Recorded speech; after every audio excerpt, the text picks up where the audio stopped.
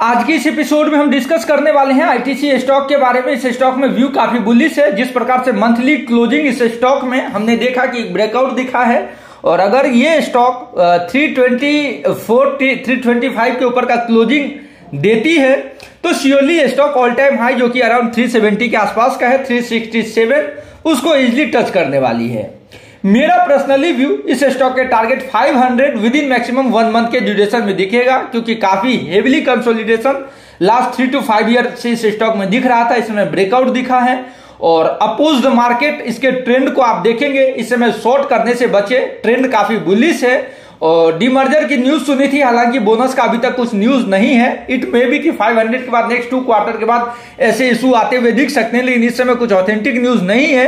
Trend काफ़ी bullish है, जो शॉर्ट इस स्टॉक में शॉर्ट टर्म पर्पज से बाइंग है, वो जो स्टॉप लॉस है 320 के नीचे के 318 के नीचे के स्टॉप लॉस को फॉलो करेंगे फॉर टारगेट ऑफ़ 340 और 370 तक का short term target within maximum one month के ड्यूरेशन में दिखने वाला है।